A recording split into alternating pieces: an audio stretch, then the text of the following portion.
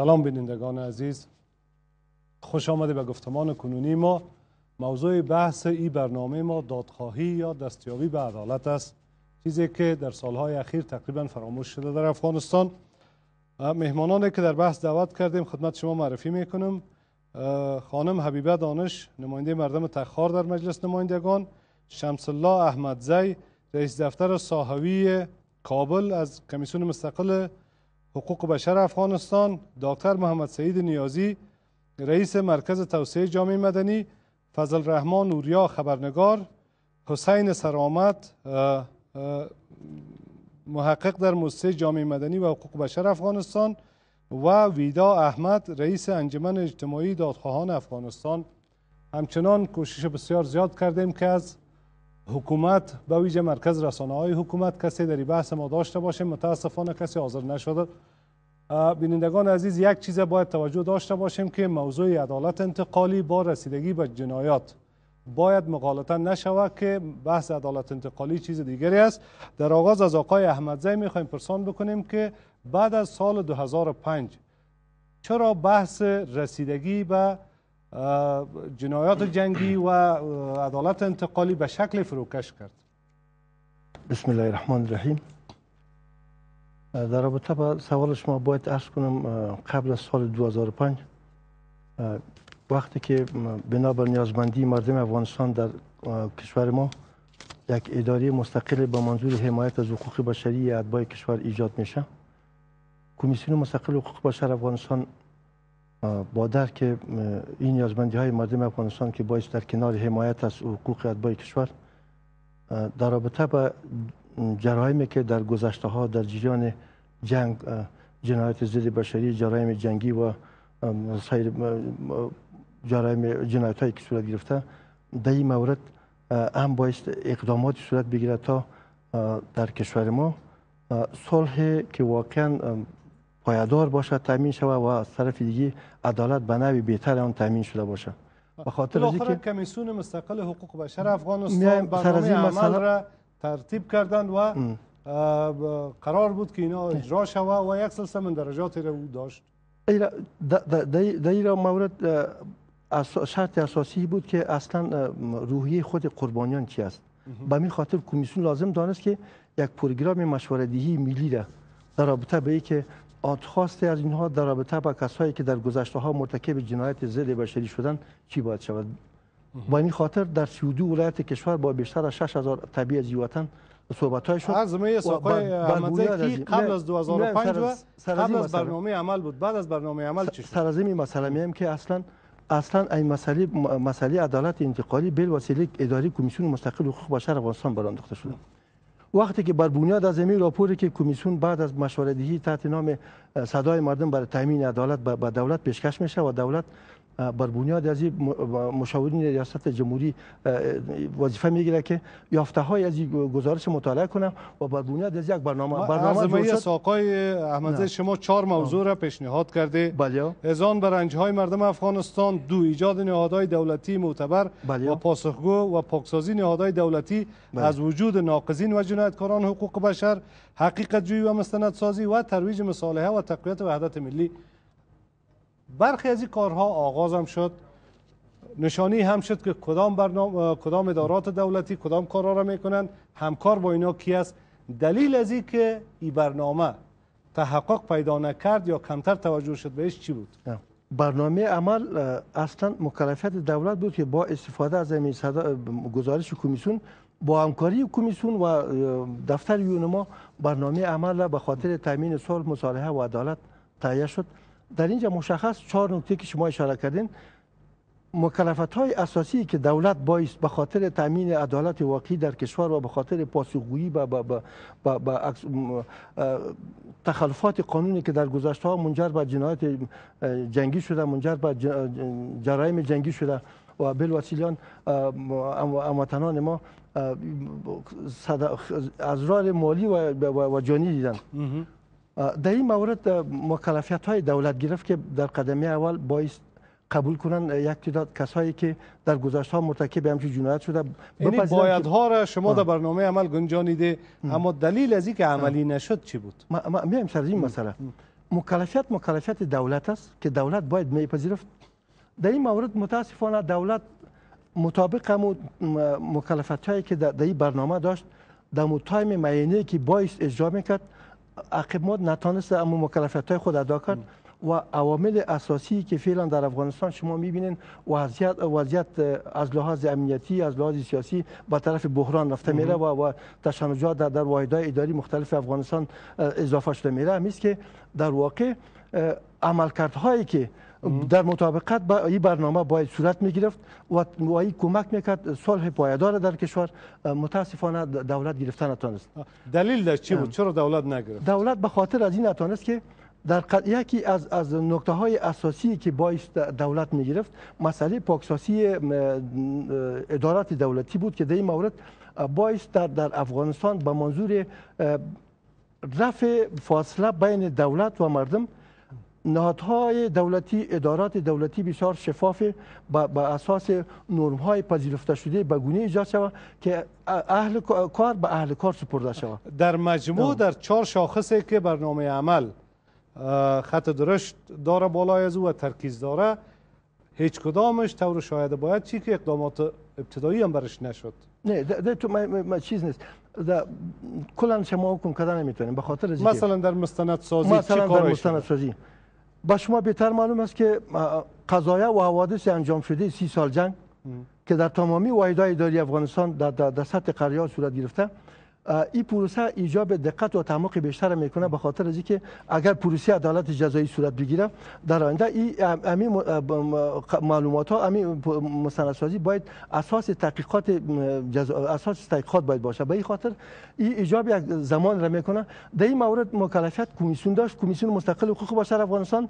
بعد از اینکه امی برنامه عمل این مکلفیت به عهده کمیسیون می‌گذاره کمیسیون با پروسه مستندسازی آغاز می‌کنه و در این راستا با دستاوردهای شایان دست پیزیده که در این مورد امی پروسه هم فعلا دوام داره و در آینده بسیار قریب گزارش در این مورد گزارش کمیسیون نشر که دولت تعلل کرده به خاطر عدم اجرات دولت بالای برنامه ملی یا تحقق از این اهداف.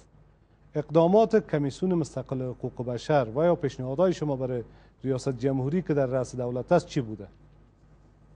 شما مناس یک کارمند از رسانه ها در جیران هستین که کمیسیون مستقل حقوق بشر افغانستان به صورت پیگیر به صورت همیشه به صورت مداوم از مراجع دولتی و از نهادهای بین المللی متقاضی عزیز که در راستای تامین عدالت در افغانستان باید و تعهدات را دولت تعهدات را که متحد شده در برنامه عمل باید ادا کنه در این مورد شما میشه که فقط در حد تقاضا شما تقاضای مکرر داشتید ما ما قوت اجرایی نداریم. عرض ما است که شما پیشنهادات و تقاضای مکرر بدون شک در این راستا شما هم در جریان هستین که کمیسیون اماره تلاش خود ورزیده پیشنهاد کرده. هم با جامعه بین المللی هم با دولت. تشکر.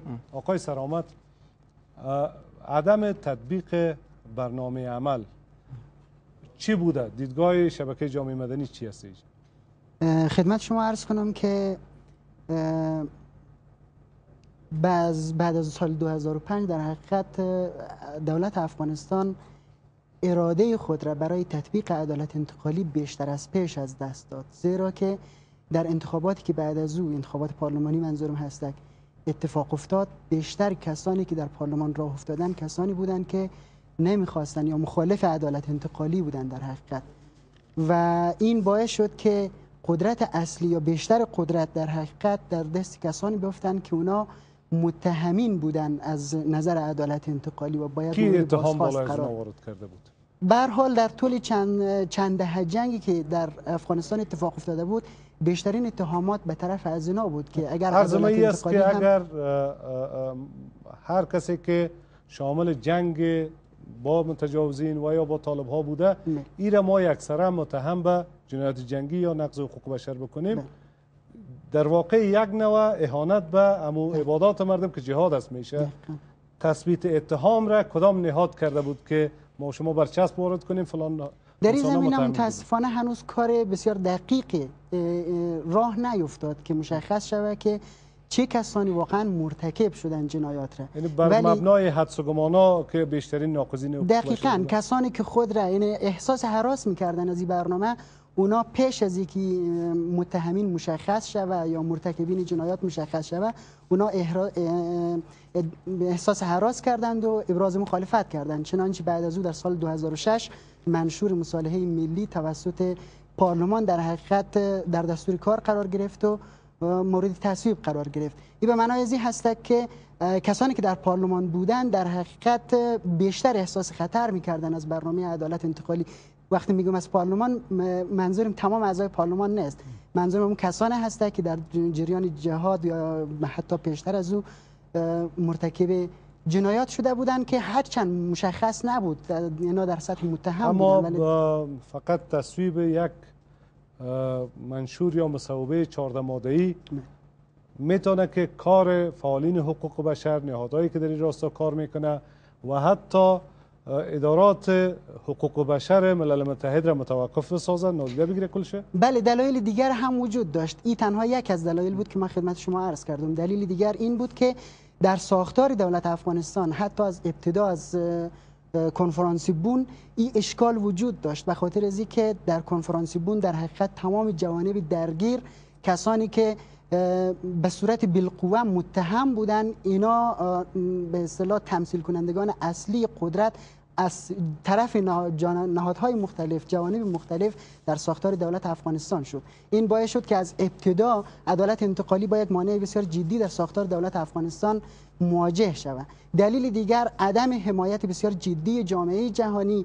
از پروسه عدالت انتقالی بود. هرچند که برنامه به صورت شعار گاهی مطرح می شد ولی در عمل هیچ گاهی برنامه بسیار جدی یا حمایت بسیار جدی از سوی جامعه جهانی صورت نگرفت. میشه گفت که در یک کلام برخورد با مسئله جنایات اتفاق افتاده در افغانستان یک نوع مصالحه جویانه و سیاسی بوده. یعنی پیش از که عدالت محور بوده باشه بیشتر متکی بوده بر نظریه ثبات و اینا در افغانستان که قابل رد هم نیست. افغانستان به اون نیاز داشت. ولی این باعث شد که مسئله عدالت کاملا در حاشیه قرار بگیره.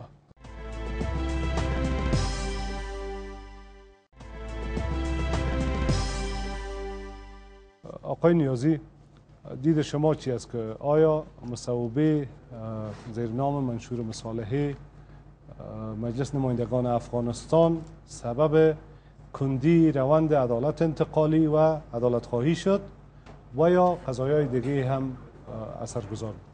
فکر نه منشور مصالحه ملی تاثیر چنانی که فکر می‌شد بالای هیچ روند نداشته. ولی در اصل دولت افغانستان و جامعه جهانی یک قسم پیرو امو سوال بسیار سابقه که اول تخم پیدا شده یا مرغ پشت امو رفتن.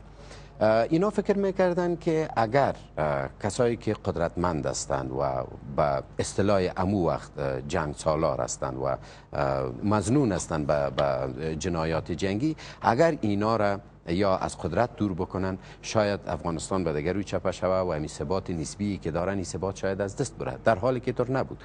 اینا به این فکر بودن که تا زمانی که صلح کامل نباشه عدالت تطبیق نمیشه. در حالی که نظرات دیگه در جامعه بود که تا زمانی که عدالت تطبیق نشود صلح امکان نداره.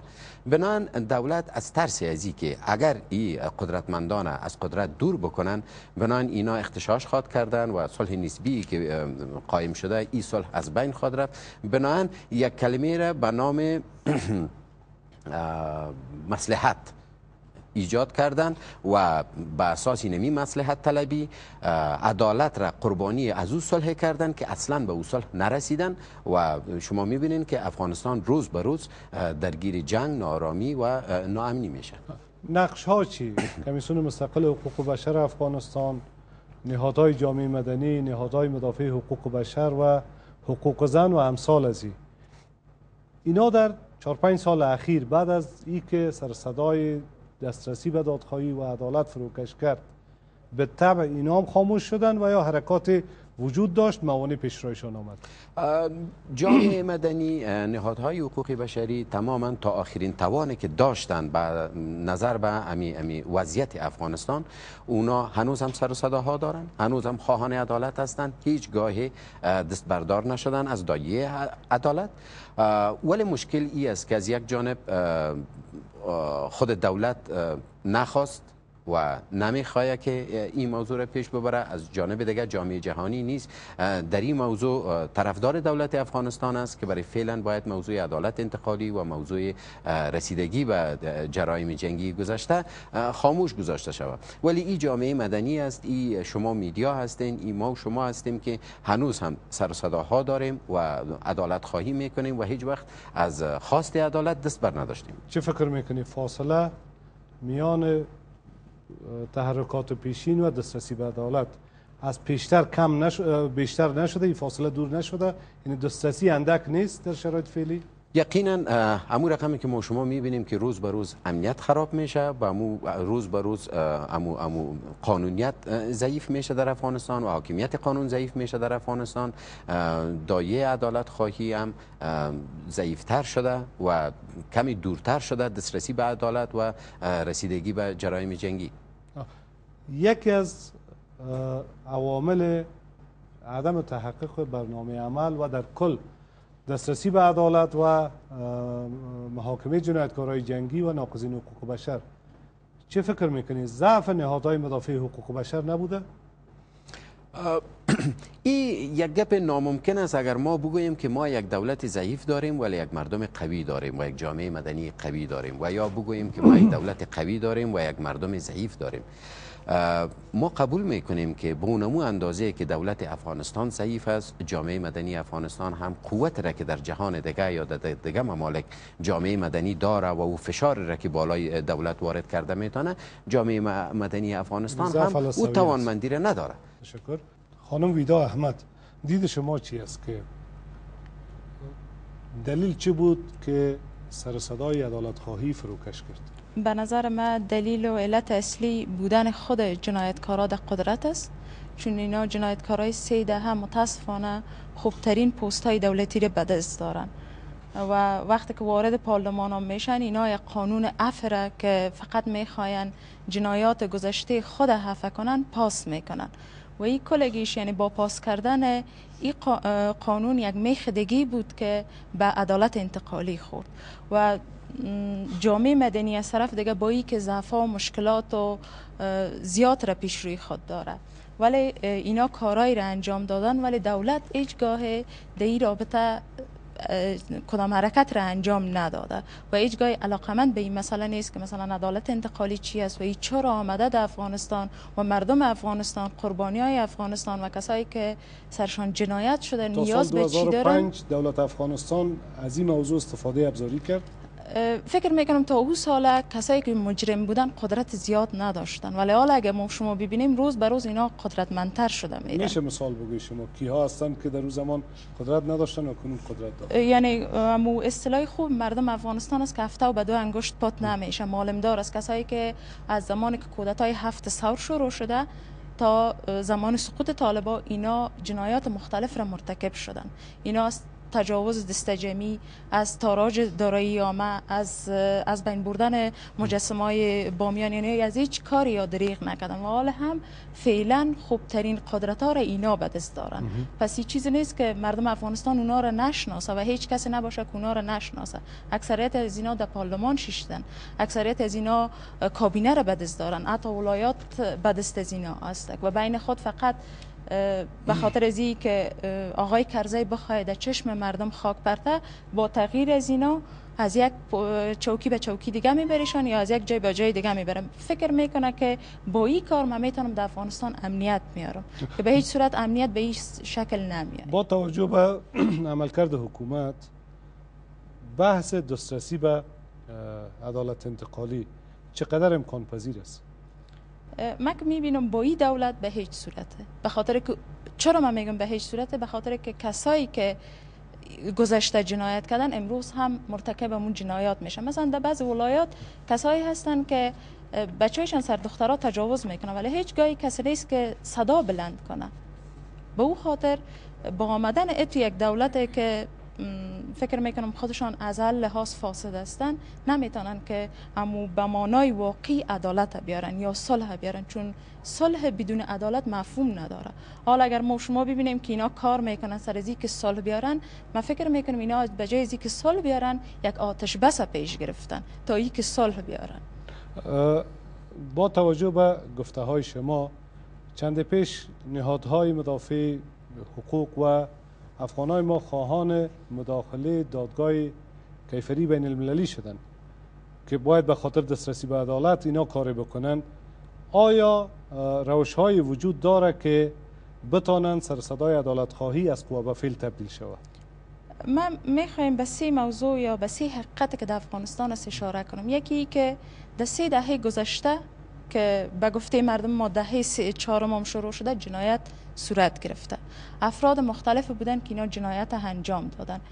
و بعد از که جلسه بن یا کنفرانس بن می‌گیرن در اوجا فقط به خواست او کشورهایی که در افغانستان زی داخل بودن به خواست از اونا نماینده میره در اوجا مثلا به خواست امریکا در اوجا میره چون او سر نیروهای افغانه یا سازمان اعضاب افغانه کار کرده بود. به خواست پاکستان در اوجا میره و به خواست عربستان در اوجا میره. از طرف دیگه اعضاب اشتگانه که در ایران تربیت شده بودن اونا میرن. و از طرف دیگه اگه ببینیم روسیه هم چون داشتن خلق پرچمی را با خود داشتن کونا را داخل این جلسه بن یا بن می‌سازن. یعنی از ما ابتدا نخواستن که اینا رو به محکمه بکشانن و عدالت بیارن. یک مسئله ای است. مسئله دوم دیگه بنابر گفته شما در افغانستان هیچ سری نمیمونه که بیطرف یا بدون جرم باشه. در اگر ما یک جنا را متهم به بکنیم که روسیه او را روان کرده جنای دیگر پاکستان یا آمریکا یا سعودی.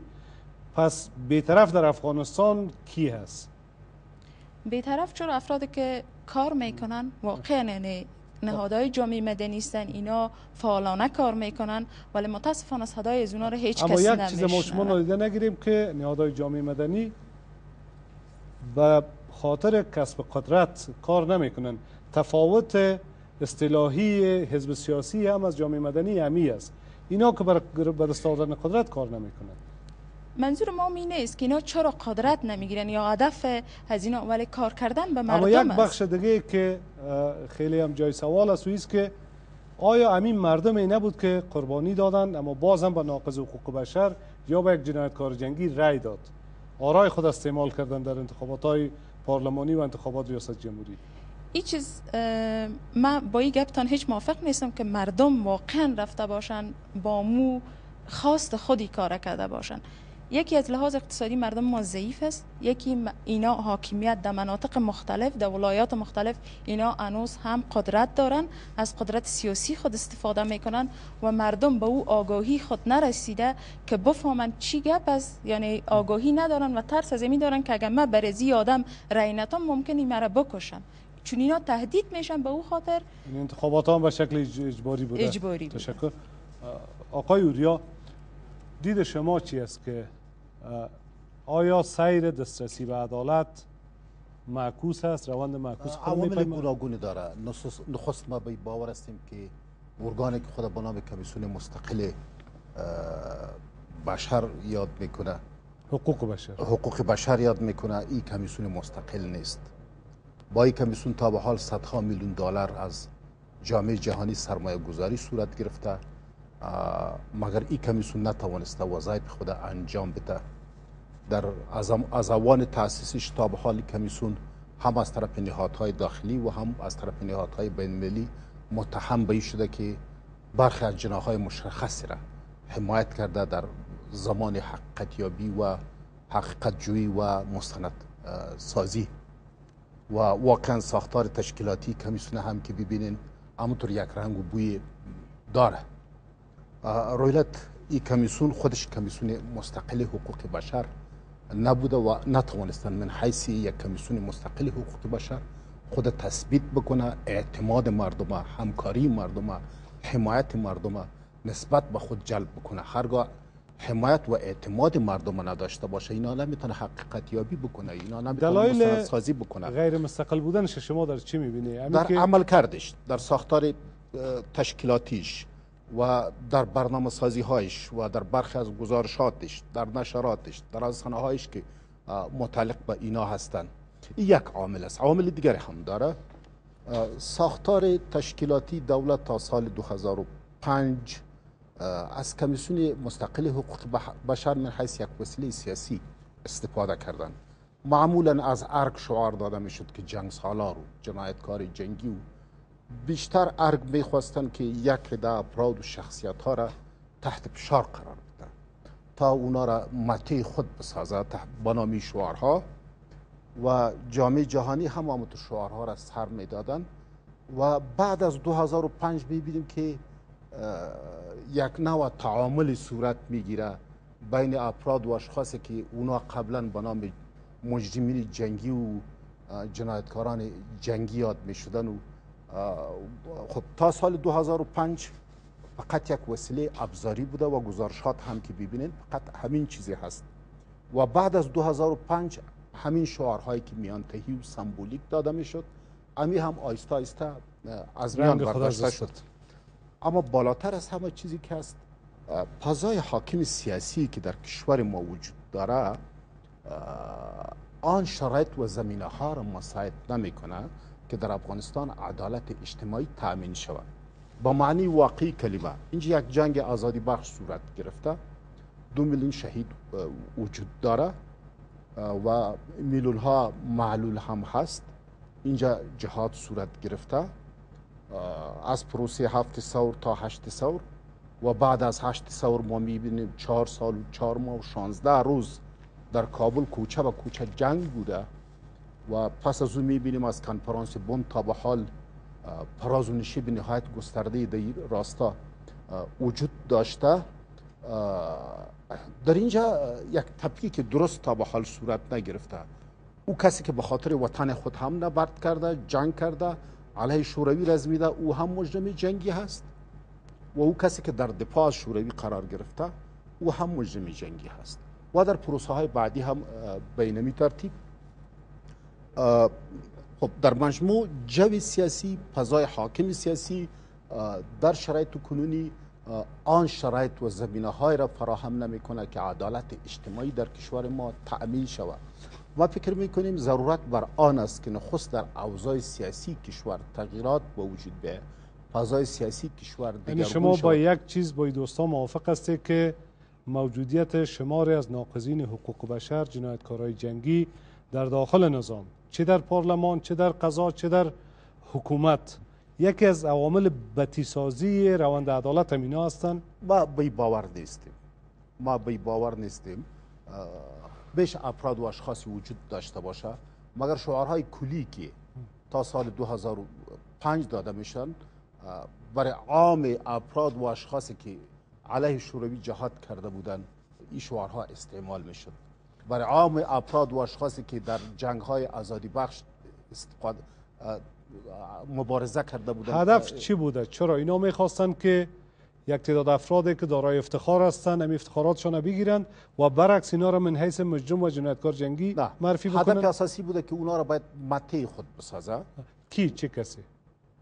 معمولا این شعارها را ارگ می‌دادن و ارگ یعنی برنامه رئیس جمهور افغانستان بود طبیعتا.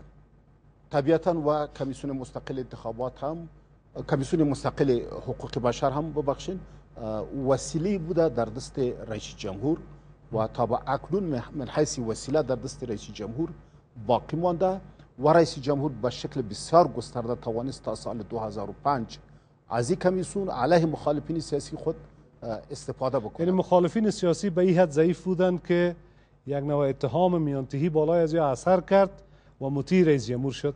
خب شاید ای, یکی و یا کفش در کفش از اونام ریک بوده. یا یا یکی از وسایل بوده. شاید ده ها و صدها وسایل دیگری را هم استعمال کرده شما نفی می‌کنید دست داشتن شماری از افرادی که در گذشته ها جنایت کردن و داخل نظام هستند. ما کلشان نه مگر ما یک عده زیادشان که جهاد کرده علیه روس ها ما اونا را مجرم جنگی نمی‌دانیم اونا را جنایتکار جنگی نمی‌دانیم بلکه اونا جنگ های آزادی بخش و استقلال طلبانه را پیش برده که کارکردهایشان قابل قدر هست. اما آنانی که جنایت کرده از این قماش افراد هم در این دولت وجود داره که احرام اساسی در دستشان هست و طبیعتا اونا آن شرایط و فضاهای را مساعد می‌کنه که عدالت اجتماعی باید تامین نشود. مگر چیزی که بسیار مهم است در نبردهای چهار سال و چهار ماه و شانزده روزی که در, در کابل صورت گرفتن این زیاد قابل دقت هستند که هر دو طرف میشه چونین اتهام وارد کرد و مهر تایید سرش گذاشتاد که به نحوی از آنها پیش از او در این جرایم سهیم بودند.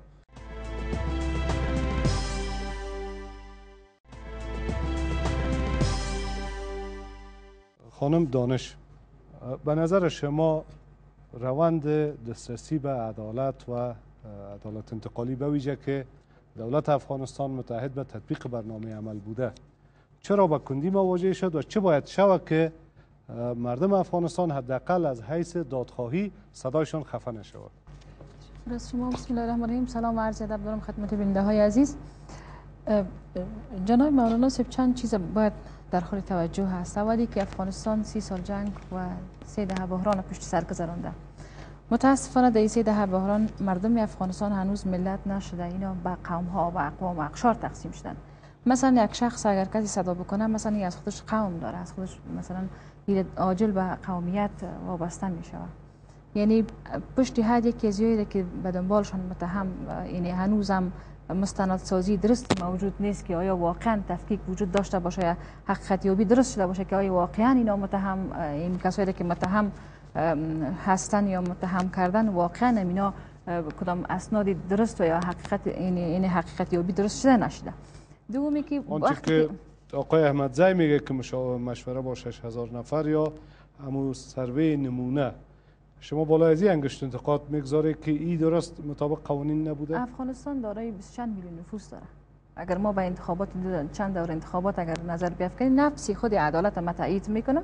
عدالت یک کلمه معقول از زیبا هست یک عمل درست هست و تا زمانی که عدالت نباشه در دین مقدس هم عدالت عدالت جایگاه خود داره. برمیگردیم به موضوع ازی که چگونگی دسترسی به چگونگی دسترسی ما نشود که به خاطر رسیدن به به تطبیق به برنامه عمل ما به یک سلسله به عدالتی ها دست بزنیم. آنچه که آقای اوریا اشاره داشت یکی از دلایل عدم تطبیق برنامه عمل و یا عدم دسترسی به دادخواهی ابزاری بودن نهادهای مدافع حقوق بشر و ویژه کمیسیون مستقل حقوق بشر دانستن شما هم به می باور است یا دیدگاه شما دیگه است؟ در شکی وجود نداره کسایی که مدافعین از حقوق این نهادهایی هستند که برای دفاع از حقوق بشر کار می‌کنن و همین پروژه را پیش می‌برن ما باورمند به که بیشترین اینا یعنی به صورت بیطرفانه قضاوت نکردن. متاسفانه. تا جایی که من می‌بینم یک سلسله اشکال های یعنی سوال ما ای نزد ما یک ملاحظه نیست. نزد بسیار کسایی از مردم است که یک یک ملاحظه است پیشان که بیطرفانه باید قضاوت می‌کردن. یک موضوع موضوع دومی است که هرگاه اگر ما به این سه دهه جنگی که در افغانستان یعنی واقع شد متاسفانه صورت گرفت اگر ما اگر ما دنبال هر یک از یا بگردیم 70 فیصد افغانستان باید محاکمه بکشانیم. مثلا رفتن مثلا در دوره‌ای که آقای اوریا صحبت کردن که جهاد در مقابل روزها یعنی این جایگاه داره در دین مقدس اسلام در قرآن عظیم شانی جایگاهش تثبیت شده و یک یک یک امر مقدس یک امر مقدس هست. برمیگردیم به موضوع ازی که تا پاکستانی ها مستقیما با حمایت از با حمایت از طالب و یعنی با یعنی با همکاری طالب ها و همکاری القاعده من حیث تروریست وارد افغانستان شدن. و افغانستان یعنی یک بخشی یعنی یک بخشی عظیمی از افغانستان اینا گرفتن. موضوع اگر ما یعنی دقیقا این برنامه عدالت یعنی یک برنامه درست است جایگاهش خوب است یعنی معقول هست و بدون عدالت یعنی شما شک داره یعنی بالای مستندسازی ها ما بدون شک در مستندسازی ها مثلا به دلیل از اینکه اینها یعنی یعنی یک جانبه قضاوت شده. یعنی بی‌طرفانه قضاوت نشده. یک موضوع دیگه هم یادتون نره که مصلحت های کشور ایجاب نمی‌کنه که مثلا ما در این وقت مثلا اگر 2005 ما پیش اگر او را صحبت بکنیم بحث بکنیم اون زمان هم متاسفانه افغانستان به گونه ای بوده که اگر به این قضایی اگر دست می‌زدیم یا اینکه اگر اگر چین قضایی را پیش می بردن یا که بر تطبیق از عمل می‌کردن یا بعد از 2005 وضعیت افغانستان به گونه ای است که اینمی کسایی را که بر روش متهم عنوان کردن این اینا هر کدامشان هر کدامشان یک جمعیت هست. و, و شما است که اگر تعداد کسانی که بالایشان انگشت انتقاد است و به شکل متهم هستند به نقض حقوق بشر و جنایات جنگی اینا اگر به دادگاه کشانده شوه مردم دیگه از او حمایت می‌کنه؟ من باورمند به ایستم که شما اول به انتخابات اینا رو ببینید که هر کدام اینا یک دنیای از مردم و پشت سر اما دارن. یک محل دیگه جنایت کردن. ببینید ما برای ما منافع ملی افغانستان آنچه که ضرورت آنچه هست که انتقاد می شود در یک بخشی از لنگ ساختن دستیافتن به عدالت و حقیقت یابی مصوبه سال 2006 اه، دور اول پارلمان بود. که در او با وجود از اینکه یک بخشی را که مسئله حقوق العبدی و ادعاهای شخصی را محفوظ نگه داشته اما آسیب کلان به خاطر دسترسی به عدالت ای رساند. شما میپذیره ایره؟ دیگه شکی وجود نداره به خاطر از اینکه تطبیق این برنامه را یک یک تعداد یک سلسله موانع هست مثل در مصوبه که در پارلمان افغانستان یعنی تصویب. شد. تصویب شد. مگر یک چیز آنچه که برای ما برای ما افغان ها آنچه که خیلی مهم است این هست منافع ملی افغانستان باید در نظر گرفته شود؟ هنوز که تعریف نشده منافع ملی. منافع افغانستان چرا؟ ما یک هرگاه اگر یک برنامه ملی داشته باشیم مردم عام تمام مردم افغانستان روی بر محور برنامه ملی افغانستان در حرکت باشند یعنی در او برنامه را تعقیب بکنن مردم رسیدگی به به حقوق حقشان شود و عدالت تامین شود چگونه یک عدالت؟ عدالتی که مثلا اول عدالت اقوام در افغانستان در تشکیلات یعنی. ساختار نظام هنوز موجود نیست. چگونه ما مردم خیلی اعتماد بکنه و رسیدگی به همچو قضایایی که ضرر میرسانه ثبات سیاسی افغانستان امنیت ملی افغانستان ضرر میرسان برا- برای ما آنچه که امروز مهم است ثبات سیاسی و امنیت ملی کشور برای ما مهم است. تشکر. آقای احمدزی آنچه که آقای اوریا به او انتقاد داشت بحث ضعف یا جانبدار بودن یا ابزاری بودن کمیسیون مستقل حقوق بشر بود. در دست رئیس جمهور افغانستان. اگر چنین نبوده آنچه که آقای اوریا ادعا دارند. چرا بعد از سال 2006 کمیسیون از اجراعات جدی خود فروگذاشت کرد و عقب ماند؟ تشکر. من با وجودی که به محترم به نظریاتش احترام دارم. ولی یک مسئله رو باید ملتفت شد که اصلا اینها قضاوت پیش از وقت کردن. گفت کمیسیون جانبدارانه عمل کرد. من قبلا در صحبت خود بر شما عرض کردم که پروسه مستن- مستندسازی کمیسیون دوام داره. الا آینده قریب که گزارشش نشر شود. پیش از نشر گزارش من نمیفهم که بر بنیاد کدام معیارها اینا اتهام وارد می‌کنن که کمیسیون جانبدارانه عمل می‌کنه. یک مثلا. مسئله دیگه که آقای اوریا میگن که از کمیسیون منعکس یک ابزار سیاسی استفاده شد. آقای اوریا مگم در جریان است بعد از اینکه اداره موقت در افغانستان ایجاد شد تمام ادارات دولتی بنابر مصلحت ها بین تنظیمات تقسیم بود تا سطح قماندان ها و تا سطح ریاست ها اصلا ضرورت به این نبود که از یک, اداره دیگه به نام وسیله استفاده شد. آیا شما شاهد نیستین که وزارت ها بین تنظ- تنظیمات تقسیم بود؟ دولت متشکل از این. تقسیمات. منتفی شده؟ امیال هم وجود داره. پس امی امی صحبت از این بر بنیاد کدام حقایق صورت گرفته. من نمیفهم یک مسئله. در حال مسئله- حاضر کمیسیون مستقل صحبت انتخابات. ما مانده ما- آقا. مسئله دیگه که میگن که در ابتدا یا کمیسیون از ایجاد از ایجاد اداری خود تا کنون همیشه از طریق رسانه ها با این مسئله اتکا کرده و اتکا می‌کنه که بین مجاهد و بین کسایی که به خاطر شهرک ها و به خاطر بلند منزله و به خاطر حصول منافع غیر مشروع که دارایی مردم غصب کرد یک یک میار قائل بوده و قائل است. و, و از آقای اوریا من این سوال می‌کنم آیا کسایی را که فعلا بدون کدام مدرک عایداتی صاحب ده ها شهرک شده آیا به اینا اینا چی خطاب می‌کنن؟ اما بحث به دست آوردن شهرک را ما خلط نکنیم با جنایت جنگی. و نقض حقوق بشر. دولت است ادارات وجود داره. باید رسیدگی کنیم به غصب. زمین ها در این مسئله که دولت مکلفیت گرفت که پاکسازی ادارات دولتی باید صورت بگیره. یکی از اهداف اساسی از این است که امی ارتب... امی نگذاره که فاصله بین دولت و بین مردم مردم, ایجاد شود. دولت مکلفیت خود ادا کردن نتونست و بالاخره این زمینه مساعد شد که فاصله ایجاد شد. شما یک راپور کمیسیون آقای اوریا برای ما بگه که در بخش در این قضیه مشخص کمیسیون تحقیق کرد و یک یک گزارش داد که گزارش بر بنیاد تبعیض بوده باشه. من نمیفهم که بر بنیاد آقای اوریا امی امی یادداشت خود بر بنیاد کدام در کدام مسئله ما تحقیق کردیم؟ اگر منعکس یک مسئول دفتر کابل و منعکس یک مدافع حقوق بشر برای من هر مسئله که میاد که در او یک حق بشری از یک وطن ما ثبت شده باشه بدون از دفعتا ما پرسشای شما را با آقای اوریا مطرح می‌کنیم. در حال حاضر کمیسیون مستقل حقوق بشر افغانستان مصروف چه کارهایی است؟ در آینده نزدیک باز هم صدای عدالت خواهی من جانب شما بلند خواهد شد. بدون شک این مقطعی نبوده اجرات کمیسیون. یعنی حمایت شما میپذیرید بعد از سال 2005 فروکش کرده. گفتم که مقطعی نبوده. این پروسه پروسه دوامدار است. کمیسیون در این مورد به هیچ جای تو عمل نکرده که در یک مدت در قض- قضیه خاص تا- یک زمان عمل کرده باشه بعد از او سکوت کرده باشه. باز اصلاً- هم به خاطر نیل به هدف با آ- آقای احمدزی که وقت ما کم است به خاطر دسترسی به همی اه، هدف بزرگی که عدالت است. بله. با توجه به عملی نبودن برنامه های گذشته طرح نوی که شما دارید چی است چه باید شود؟ تاکید ما بازم به این بنیاد است که اصلا معضله فعلی که ایجاد شده ناشی از عدم عملکرد دولت بر بنیاد برنامه عمل بوده.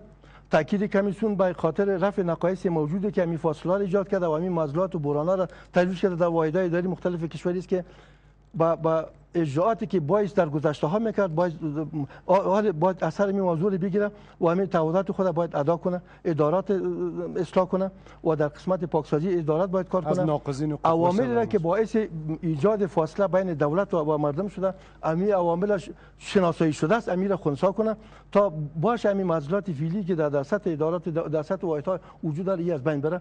و در این مورد کمیسیون با صورت استمراری عمل کرده اه، اجراعات کمیسیون حمایت از حقوق بشری اتباع کشور یک فعالیت دوامدار است که بله، ایجاب را اجرایی نکرده و تشکر. نخواهد کرد.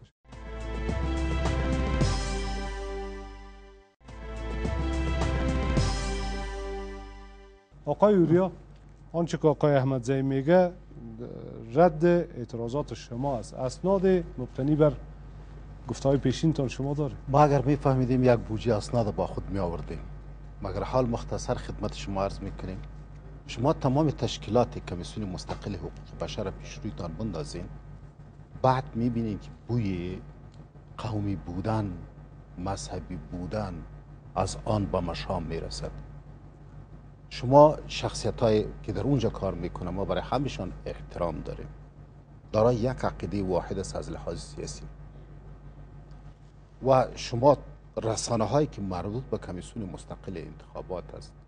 در طول ده سال گذشته. این هدف شما از رسانه ها چی؟ کمیسیون انتخابات مرکز آه، نشد ببخشید کمیسیون مستقل کمیسیون حقوق مستقل، بشر رسانه های دارد.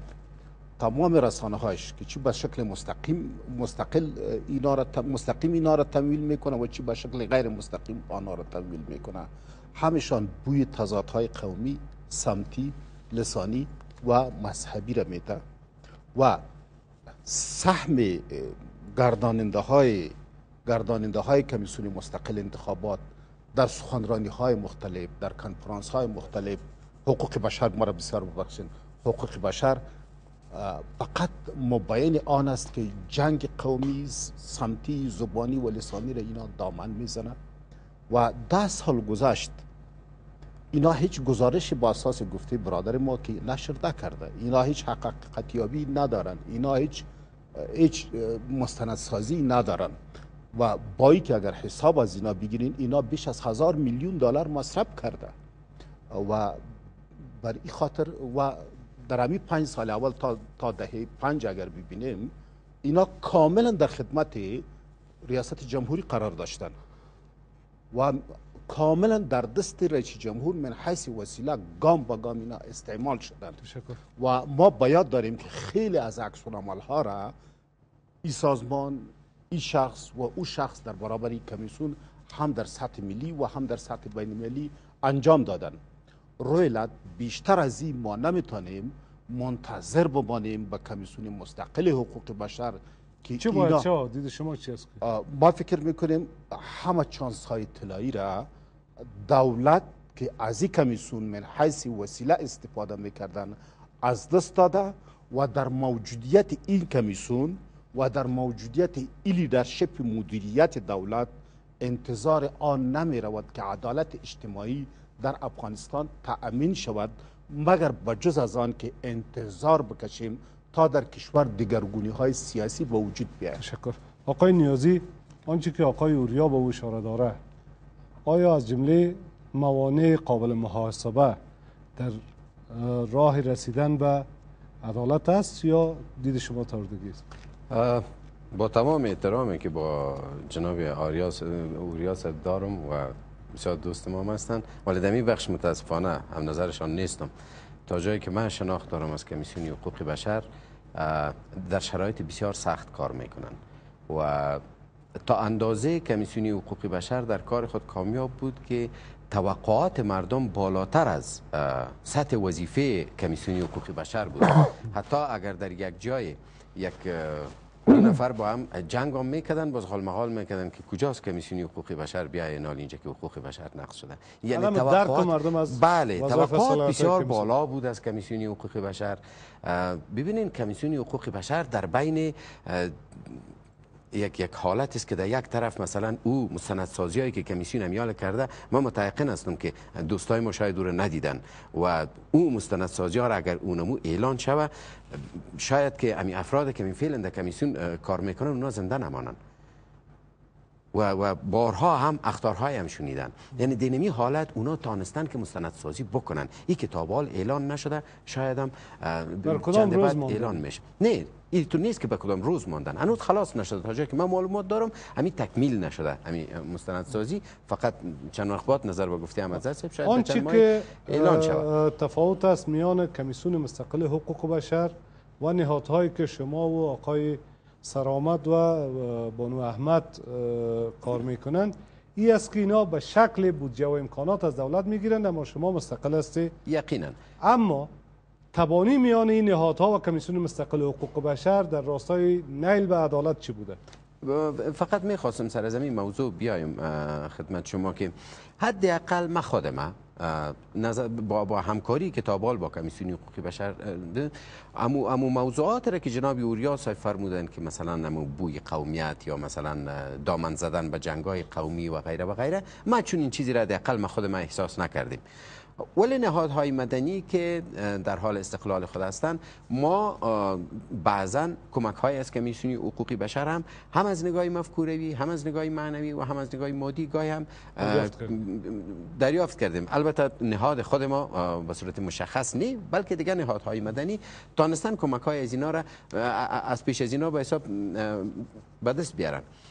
مگر یک موضوع را می‌خواستم که یادآوری بکنم که نباید موضوع عدالت انتقالی و برنامه صلح و مصالحه مغالطه شوه با مستقیما محاکمه.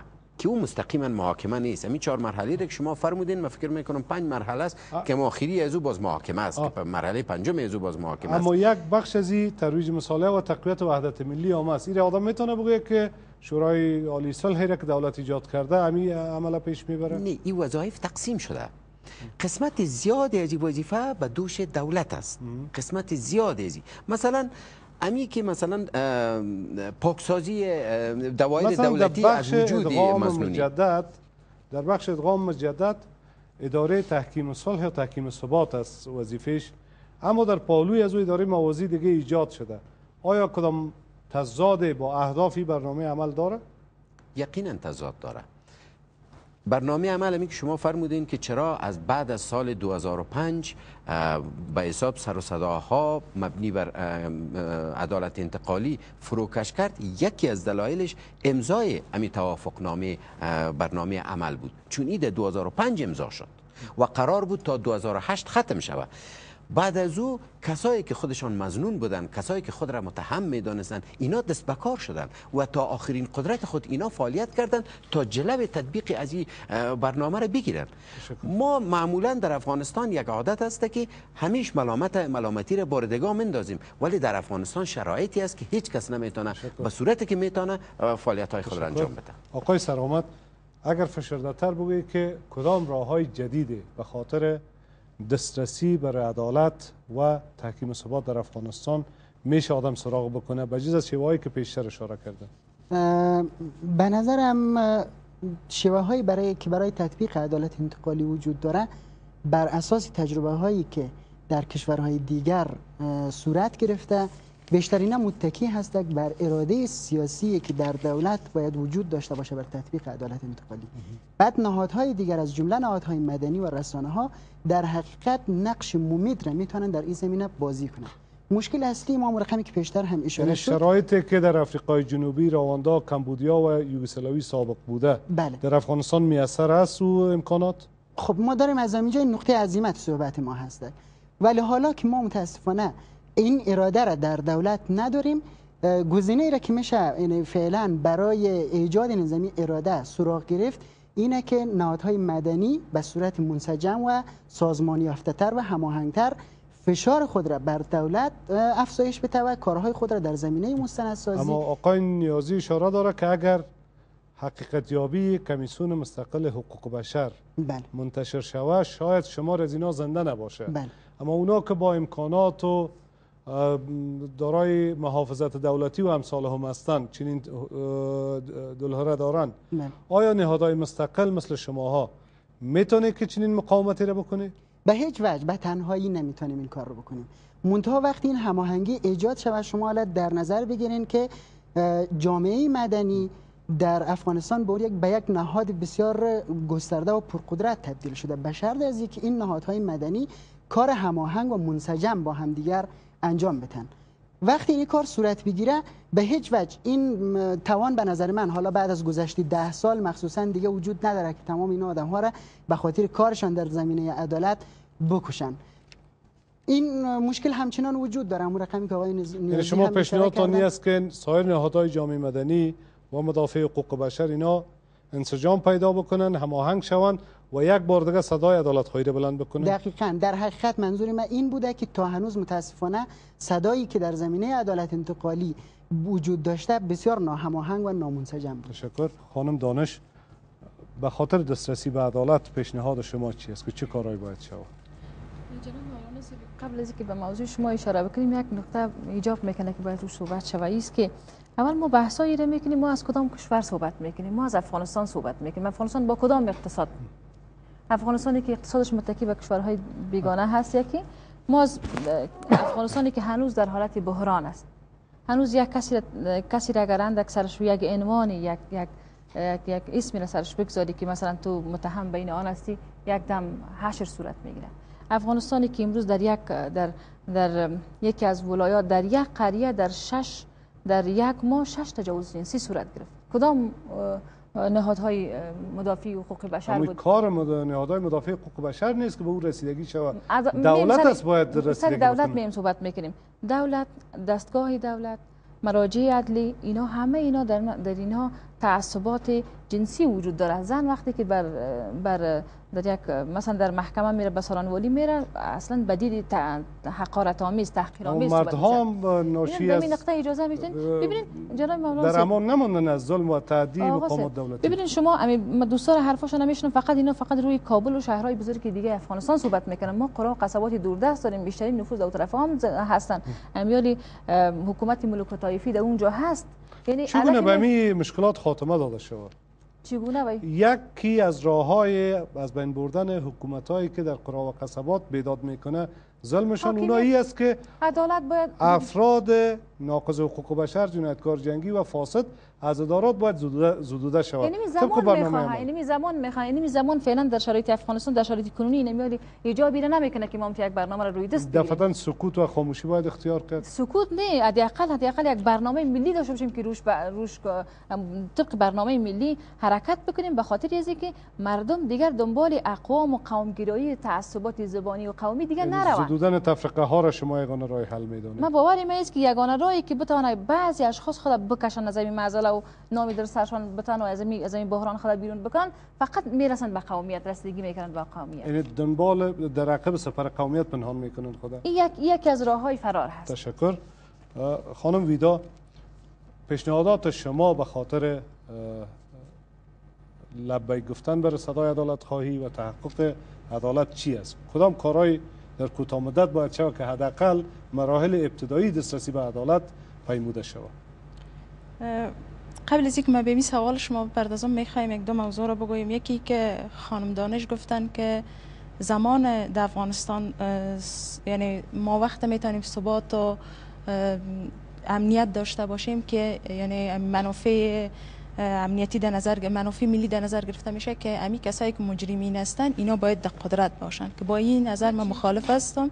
اگر ما برداشت غلط نکرده باشم و موضوع دیگه که آقای اوریا به اشاره کردن که فکر کردن که ما, ما و دیگرای گفتیم که مثلا کسایی که جنایتکار هستن ما تفکیک نکردیم به او کسایی که واقعا مبارزه کردن علیه روسا. این چیز باید پیش کلگی روشن باشه. کسایی که جنایتکار هستن و کسایی که مبارزه کردن ای با هم تفاوت داره. و کسایی که واقعا جان خود از دست دادن و مبارزه کردن اونا اصلا در دولت نیستن. متاسفانه. کاش که اونا میبیدن که اونا می‌تونستن دولت شاید زیاد تغییر بدن.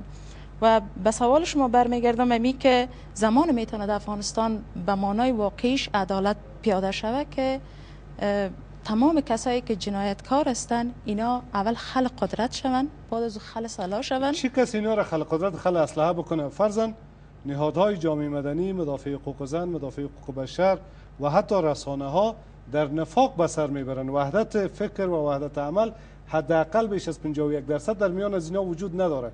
چی کسی چنین کار را بکنه یعنی این چیز وجود داره ولی مردم ما. مردم ما می‌تونن که من تو به ای باور نیستم که یعنی اکثریت تمام جامعه مدنی کسایی باشن که نخواین این چیز هر کس که کار می‌کنن دستشان نمی‌رسه. واضح است ولی این کاری است که باید تفرقه دولت ایجاد کرده در میان نهادهای جامعه مدنی؟ من فکر می‌کنم اوت چیز یعنی دولت خودش مصروف خود از بیشتر. عرض ای است که بنابر گفته های شما بیشتر بالای ترکیز داشت که شماره از کسانی که آلوده بود دست از یا به جنایت جنگی و نقض حقوق بشر یا بعد از برنامه عمل دست به کار شدن که تا صد راه ایجاد بکنن پس خود دولت نمی‌تونه اینا رو منتفی بسازد در برابر از صدای باید واحد شود. همین صدای واحد چگونه بیرون شد صدای واحد یکی خو کسایی که واقعا یعنی من جامعه مدنی هم افراد را میگم که واقعا کار می‌کنن. چون متاسفانه کسایی که جنایتکار هستن اینا هم برنامه هایی دارن و سازمانهایی را ایجاد کردن در رسانه ها دست دارن. اونا هم کارهای را یعنی اکت و ادای جامعه مدنی و اینا را می‌کنن.